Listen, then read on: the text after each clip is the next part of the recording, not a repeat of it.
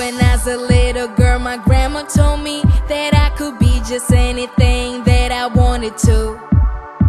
When I was a little girl, my grandma told me that I could be just anything that I wanted to.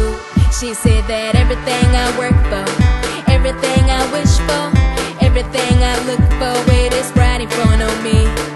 Everything